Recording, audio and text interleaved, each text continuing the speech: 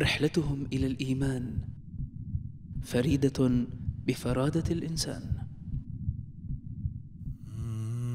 دخلت فترة الإعدادي ودي فترة تكوين الشخصية وفترة المراهقة. فبعدت فيها عن الدين شوية. دخلت رجعت المسجد تاني نفس المسجد اللي أنا كنت بروح فيه ودلوقتي بدأت عيني تتفتح على الجماعات الإسلامية. في الفترة ديت كنت تعبان ما كنتش مرتاح.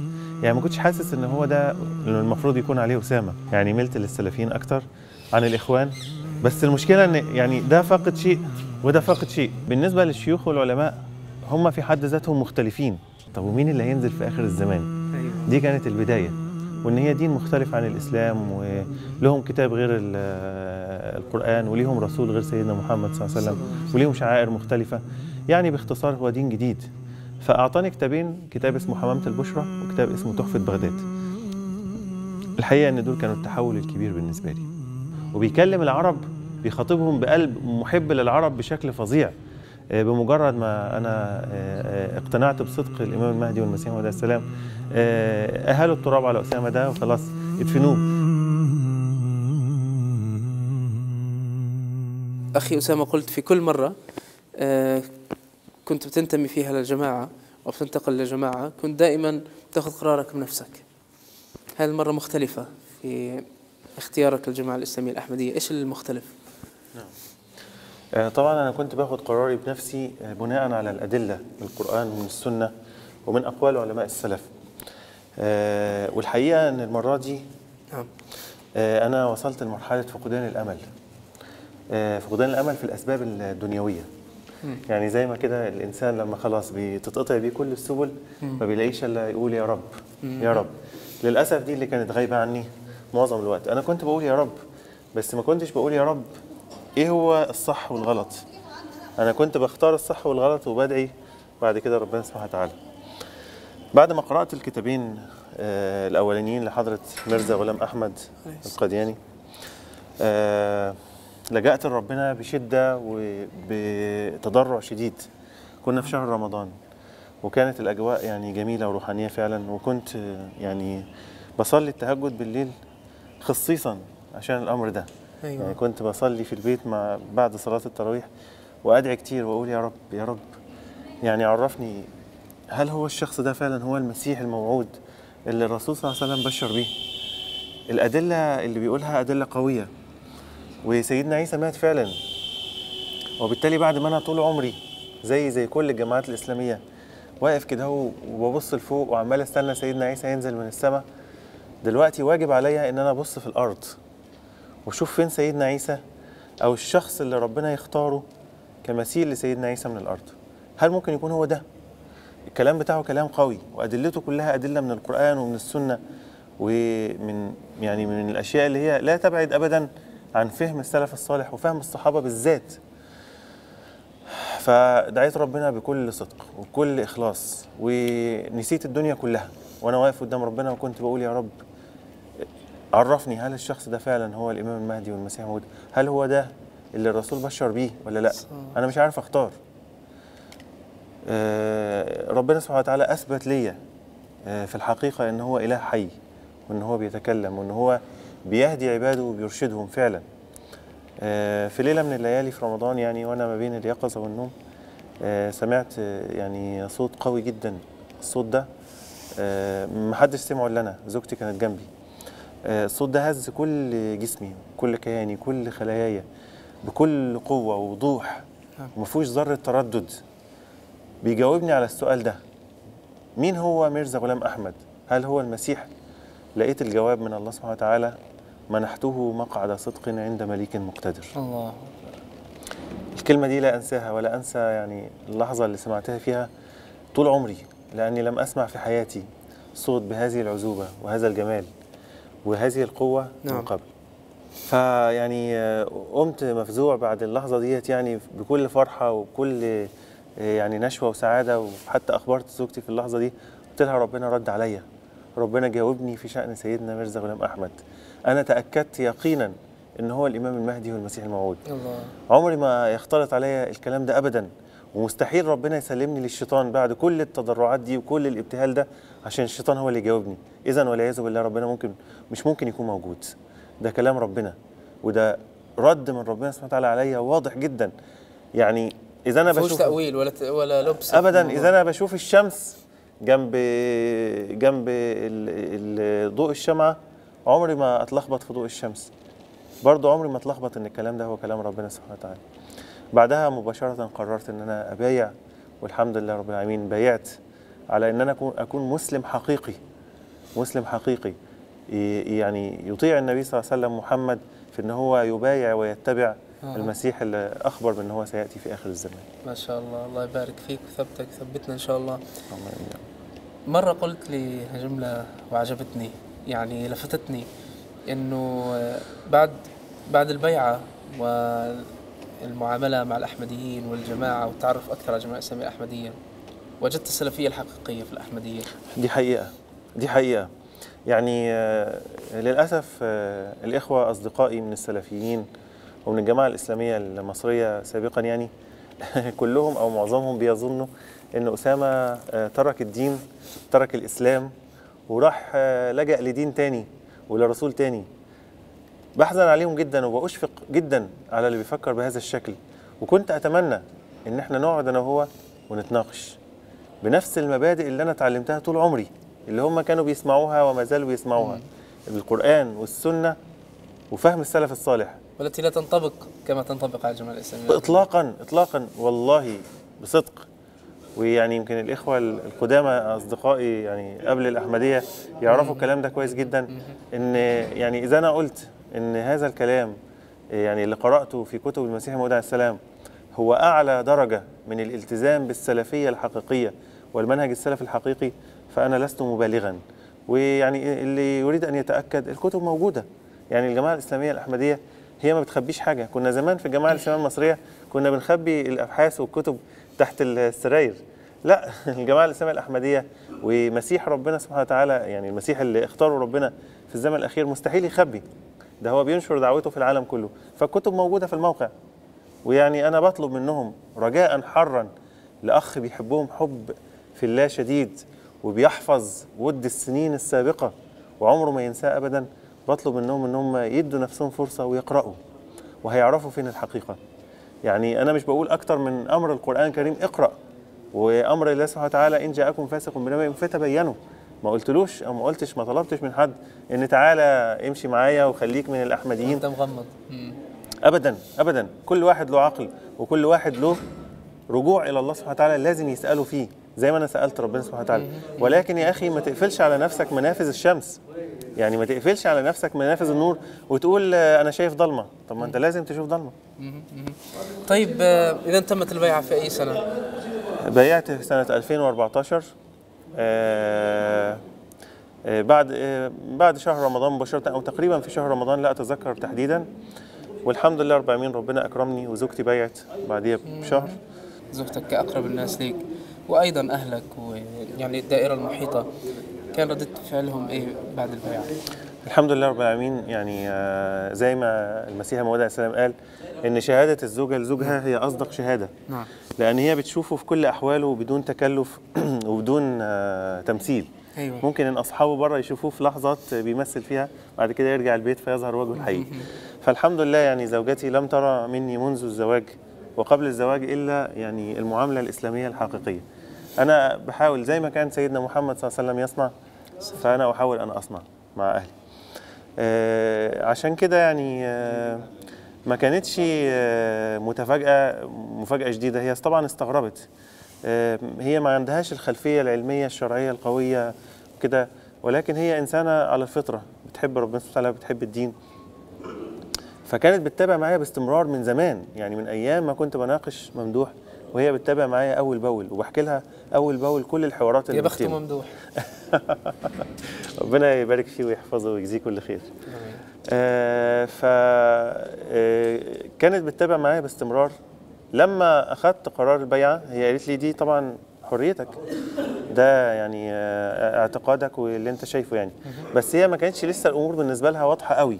يعني مش قادرة تستوعب إزاي سيدنا عيسى نزل وهي عارفة إن كل المسلمين مستنيين سيدنا عيسى ينزل من السماء وهي زيهم في مرة كنا بنقرأ في كتاب من كتب المسيح الموعود عليه السلام. فذكر قصة إيليا اللي هو سيدنا إلياس وإزاي إن اليهود رفضوا سيدنا عيسى ابن مريم بسبب إن عندهم نبوءة في في التوراة إن المسيح مش هيأتي إلا لما ينزل إيليا من السماء اللي هو سيدنا إلياس هينزل من السماء فلما جه سيدنا عيسى قال لهم أنا أنا المسيح قالوا له لا أنت كاذب. ياس ما جاش. آه إلياس لسه ما جاش إحنا قاعدين مستنيينه ينزل من السماء. فقال لهم إلياس موجود ما بينكم؟ هو يحيى. سيدنا يحيى هو إلياس. ربنا سماه إلياس وقال إن هو هينزل من السماء يعني هو نعمة ربنا هيبعثها إليكم. وسيدنا يحيى فعلا جه قبليه.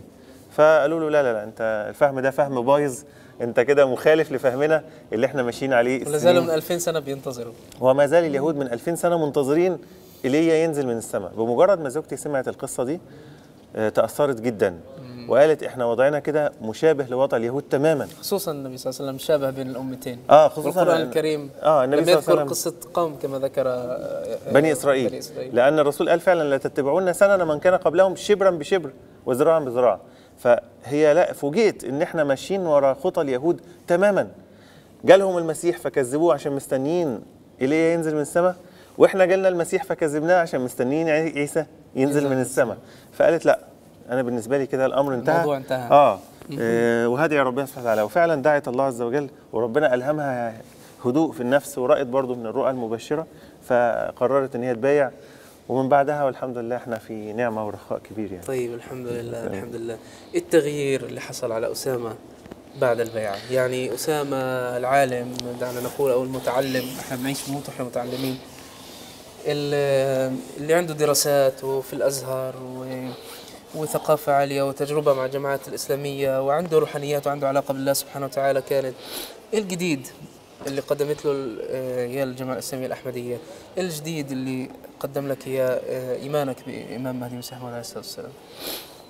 آه المسيح الموعود عليه السلام عرفني بالله عز وجل الحقيقي الله سبحانه وتعالى الحقيقي. يعني عايز أقول بصراحة ويعني يمكن الكلام ده ممكن يزعل كتير من الناس الإله اللي إحنا نعرفه ما قبل الجماعة الاسلاميه الاحمديه هو إله غير حقيقي. إله ما بيتكلمش لا يوحي لعباده ما بيسمعوش منه أي كلام ولا بيشعروا بتوجيهه وهدايته ليهم بشكل واضح. إذا دعوه ممكن ما يجاوبش عليهم ممكن يترك الشيطان يجاوب عليهم. زي ما الإخوة بيقولوا لي يعني بعض الإخوة بيقولوا ده الشيطان اللي جه وقال لك كذا كذا. يعني أنا بدعي ربنا سبحانه وتعالى بكل تضرع وكل إخلاص. هل ظنكم بالله إن هو يسيب الشيطان يجي يرد عليا؟ إذا كان ده ظنكم بالله فأحذركم بقول الله سبحانه وتعالى وذلكم ظنكم الذي ظننتم بربكم أرداكم فأصبحتم من الخاسرين. عرفت الله عز وجل الحقيقي في الأحمدية؟ عرفت سيدنا محمد صلى الله عليه وسلم ومكانته العظيمة. من خلال الخادم الصادق له سيدنا ميرزا غلام أحمد. ما شفتش في حياتي حد بيمدح سيدنا محمد صلى الله عليه وسلم وبيتفانى في حب سيدنا محمد صلى الله عليه وسلم وبيذوب عشقا في تراب سيدنا محمد صلى الله عليه وسلم زي ما هذا الشخص بيذوب. يمكن أنا لاحظت هنا في في في قديان لما جيت آه، ال- الأحمديين بيذوبوا حبا في العرب. يعني مجرد ما يشوفونا لابسين اللبس, اللبس العربي بيذوبوا فيه عشقا. طب أنا عايز المعارضين يفكروا لو كان الشخص ده فعلا بيفضل نفسه على سيدنا محمد صلى الله وعايز يقطع صلة الأمة الإسلامية بسيدنا محمد صلى الله عليه وسلم. يربطها بيه إزاي ينشأ في قلوب أتباعه هذا الحب المهول لكل ما هو عربي؟ وكل ما أسأل واحد أقول له طب أنت يعني أنت تعرفني؟ لا ما أعرفكش. طب أنت ليه بتحبني؟ يقول لي سيدنا محمد صلى الله عليه وسلم كان عربيا. فيعني أنا أذوب خجل من هذا الكلام. إيه الحب ال- العشق الفظيع لسيدنا محمد صلى الله عليه وسلم ده؟ إذا كان هؤلاء هم الأتباع فما بالك بمن غرس فيهم هذه النبتة العظيمة. عرفت الله عرفت النبي صلى الله عليه وسلم. عرفت القرآن الكريم الكتاب الكامل الذي لا يأتيه الباطل من بين يديه ولا من خلفه. ما فيهوش آيات منسوخة زي ما كنا بنتخيل. ما فيهوش تلاعب ما فيش آه، آه، آيات موجودة وملهاش أي فائدة غير إن هي بس تاريخية أو أحكام شرعية كانت موجودة والآيات بتاعتها اتنسخت واتلغت. لا كتاب الله كامل محكم لا يأتيه الباطل من بين يديه ولا من خلفه. الله. كتير من المفاهيم والتصورات. عرفت حدثني احكي لي عن ال- الثبات.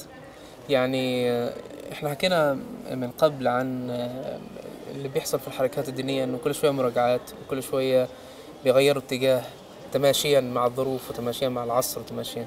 حدثني عن الثبات اللي وجدته في الجماعة الإسلامية الأحمدية خصوصا وأنه عمرها آه، مش يوم يومين ولا سنة وسنتين. يعني بنتكلم عن أكثر من 120 130 سنة من سنة 1889 لما تأسست ل آه، 2018 يعني بنحكي عن آه، سنين مديدة أكثر من قرن وربع من الزمن.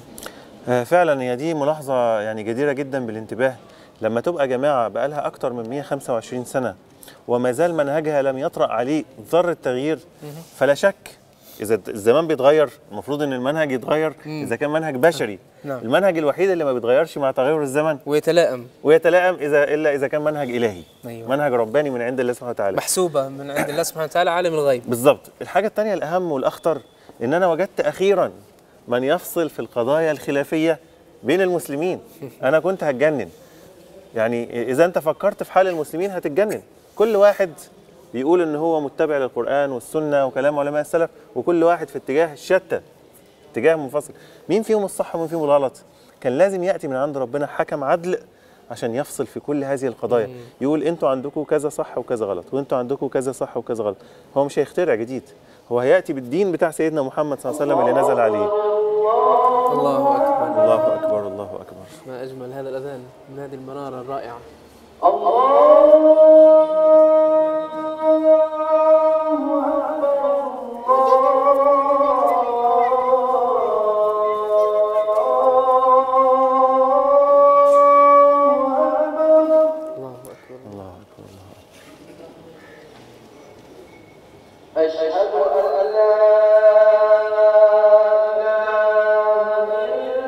إلا الله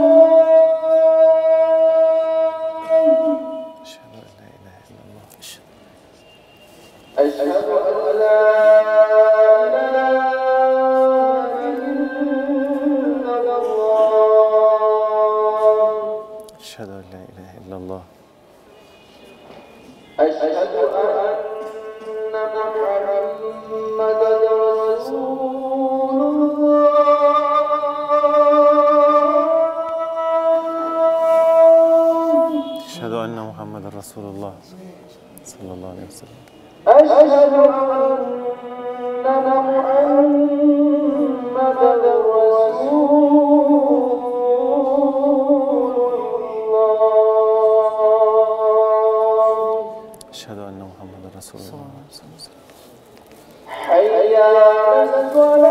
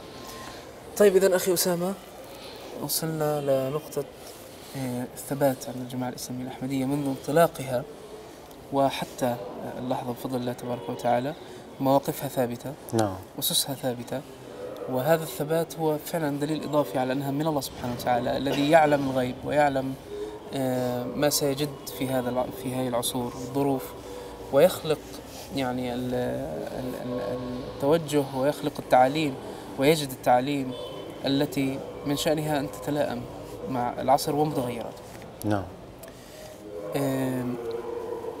بعد كده إيه التجارب اللي خاضها أسامة؟ تجارب روحانية؟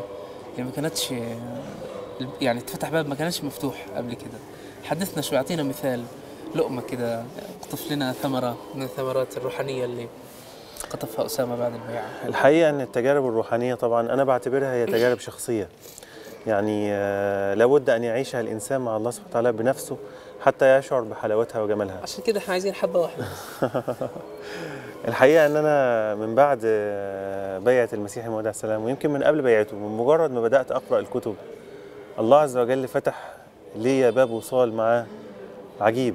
لم أشعر بهذا الوصال في حياتي كلها. وصال مستمر. علاقة ما بين الصديق وصديقه. آه، ما بين الأب اللي بيراعي ابنه وبيحاول إن هو يحافظ عليه ويحميه من الأخطار ويفتح له أبواب من الخير لا لم يكن يتخيلها. آه، يعني كثير من الرؤى رأيتها وربنا وتعالى آه، جعلها رؤى صادقة. ورأيت فيها أمور لم تحدث سابقا وحدثت. كثير كثير من الإلهامات سمعتها. منها معاني للقرآن الكريم. آه، كانت مغلقة قدامي آه، وإذ بي أسمع من من من من الصوت ال- العذب الجميل ده. آه، من يفسر لي هذه المعاني بتفسير في قمة الروعة والجمال وينسجم مع معاني القرآن الكريم ومعاني السنة النبوية ومعاني التي فهمها الصحابة الكرام ولكنه يعطي بعد جديد لم أكن أتخيله في حياتي. ما شاء الله. في توفيق من ربنا سبحانه وتعالى كبير. في سكينة بتظلل بيتنا من بعد الأحمدية. يعني يمكن قبل الأحمدية كان في بعض ال- القلاقل ال- الاضطرابات المشاحنات آه، إلى حد ما. من بعد الأحمدية في سكينة نفس وهدوء نفس غريب. في انسجام. في علاقة مع إمام واحد للعصر بيجمعنا كلنا الجماعة الإسلامية الأحمدية. هو سيدنا أمير المؤمنين أيضا. خليفة الخميس الخ- المسيح الخامس آه، سيدنا ميرزا مسرور أحمد أيده الله تعالى بنصره العزيز.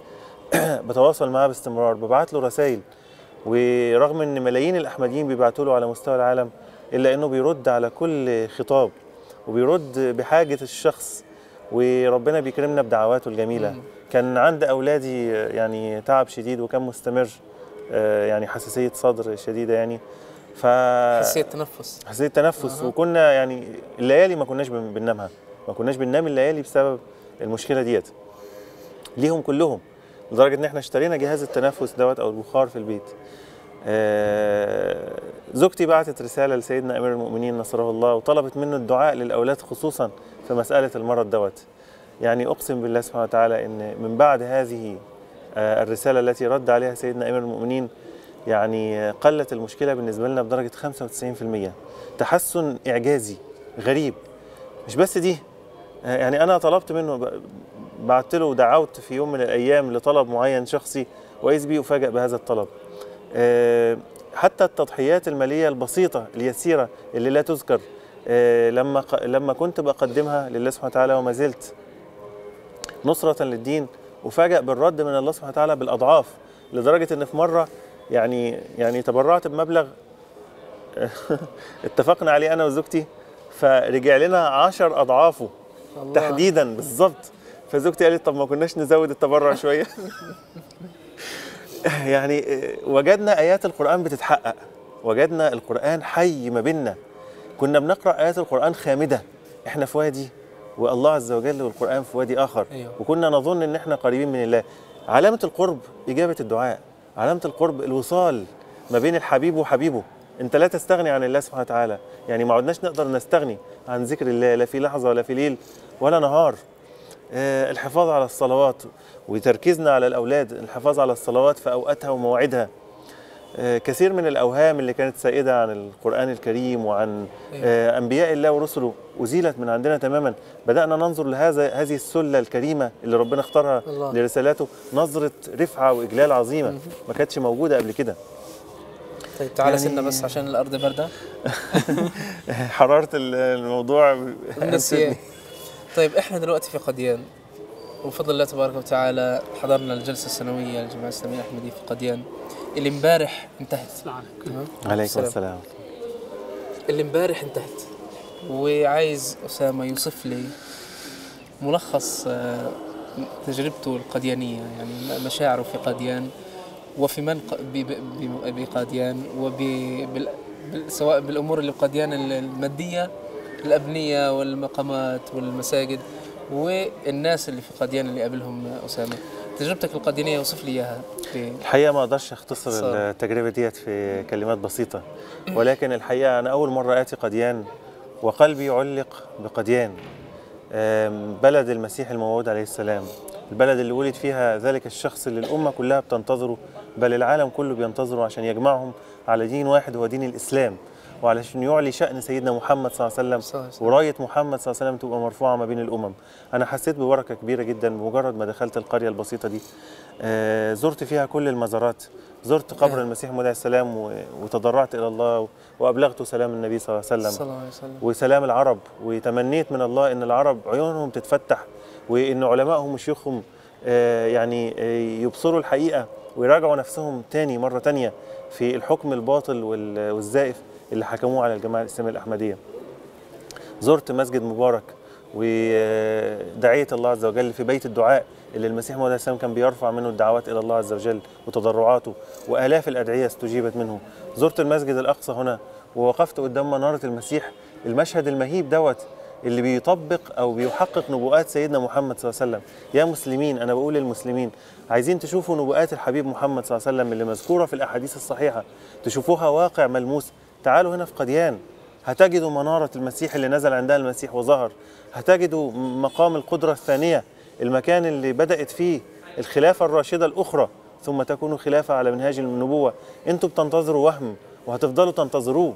زي ما يعني هتسيروا على نفس خطط خطى اليهود اللي اللي بقالهم ينتظروا سيدنا عيسى 2000 سنة. يا اخوانا أفيقوا لله. يعني راجعوا أنفسكم. اقرأوا كتاب الله عز وجل فتبينوا. إن جاءكم فاسق بنبأ فتبينوا إيه اللي هيضركم لا تغلقوا أذانكم عن السماع.